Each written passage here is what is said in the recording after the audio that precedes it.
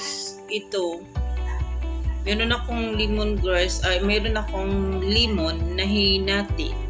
Yan, hinati ko yan. Tapos meron akong lemongrass, di ba? Lemongrass with malunggay. Yan. Yung lemongrass with malunggay na to guys, marami po talaga siyang benefits. Yung hindi nakakatulog at hindi maayos yung tulog. Ayan ha maganda ang tulog mo nito. At saka yung mga merong high blood, may mga anemic na babalance niya po ang bal- balancing ng ating katawan. So yung mga ano na yan, yung sa ubo sa sipon, maganda po siya. Ayan. Sa mga may diabetes din, maganda po din siya. So, guys, kaya ko po to sinishare kasi talagang maganda talaga. As in, maganda ito siya. At hindi, wala siyang halong chemical.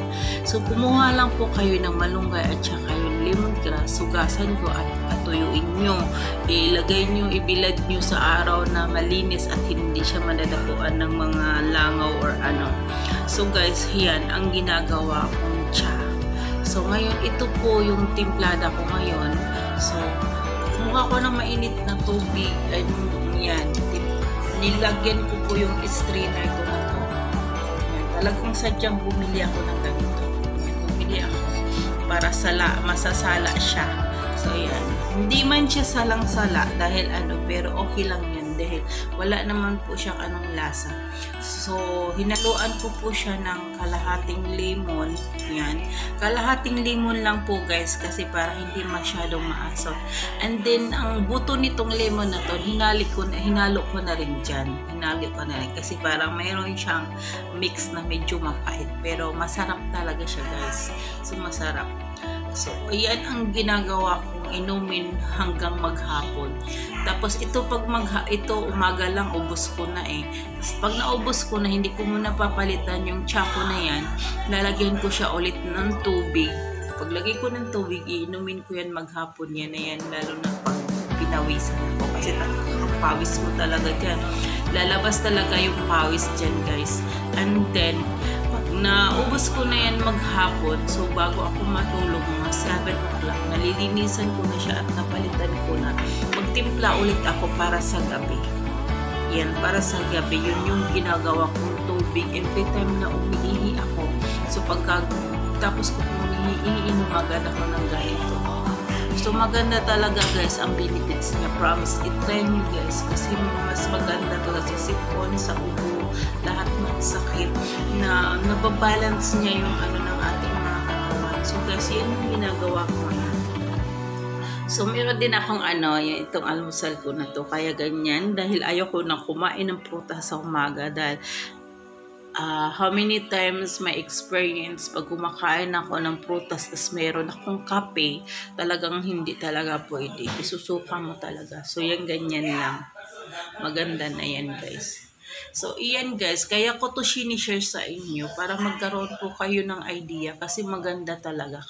Kahit sino dyan, alam nila ang lemongrass at balunggay maganda sa katawan. So, yan. Alam mo guys, share ko lang, lang din po.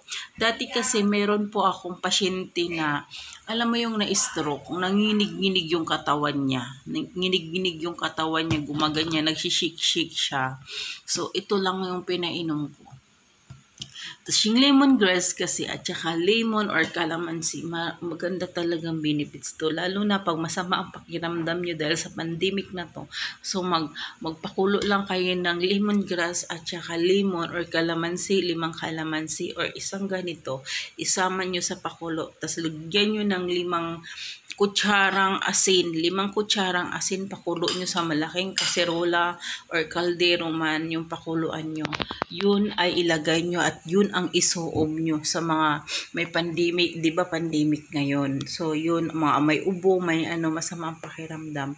Ibabad nyo po ang inyo, uh, magsuob po kayo, kumuha kayo ng makapal na kumot at doon maghubad kayo sa loob ng kumot. Ilagay nyo yung malaking kaserola or ano sa bago, bagong kulong-kulo. Tapos basta ilagay isuo isuob nyo sa katawan nyo. Tapos pagkatapos yung isuob sa katawan nyo guys, uh, pakiramdaman nyo yung tubig, itry nyo kung kaya nyo na yung init ibabad. Unang-una ibabad nyo yung kamay nyo. Yung kamay nyo hanggang braso ganyan ibabad nyo. kung kaya nyo ang init. And then, pagkatapos, pag kaya pang init, ibabad nyo yung paa nyo hanggang tuhod. Yan. Kasi maganda po talaga, promise. Ito po yung ginagawa kong suob dahil sa Pilipinas po ay massage therapist trainer po tayo. Ito po yung tinuturo ko sa aking mga uh, sa aking mga student, mga therapist ko na ito talaga much better talaga yung suob isuob mo yung lemongrass at saka lemon or calamansi. So, yun guys, pag nalanghap mo yan, ang sarap ng pakiramdam, ilabas yung pawis mo, ilabas lahat niya yung pawis mo. Kahit, kahit normal na ano, na gusto mo lang ma-relax um, gusto mong magsuob, magsuob ka lang at saka ibabad mo yung kamay at saka paa mo doon sa sinuuban mo na, na pinakuluan na ano, yung kaya mo na yung init. So guys, sana meron po kayong natutunan sa sinishare ko po sa inyo, lemongrass at saka malunggay with lemon. So, ayan na yung kinalabasan niya.